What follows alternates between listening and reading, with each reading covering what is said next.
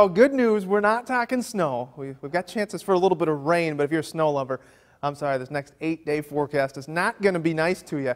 But for the rest of us, looking pretty beautiful. Take a look at a Winterset right now. That sun's shining, people milling out and about enjoying the nice weather.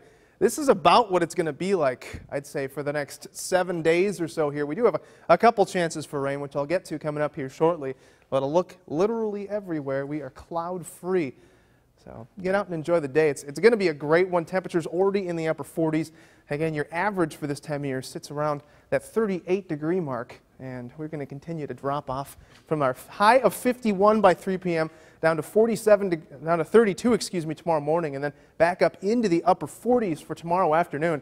You can see nothing across the Midwest. A few clouds up through northern portions of Minnesota. That next system eventually moving in from the west and that's going to bring in some cloud cover and a slight dash of rain along with it. This area high pressure is going to try to keep us clear in the meantime.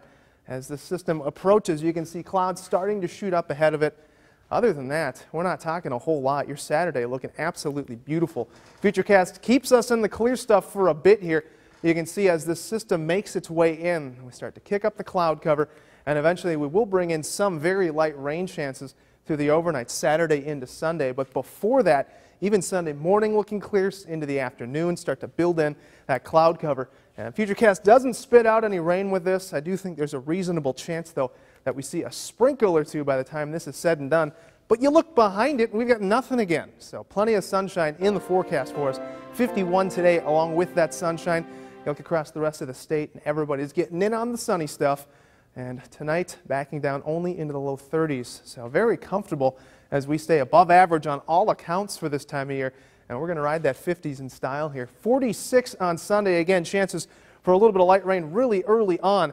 After that, though, temperatures staying in the low 50s through the end of next week.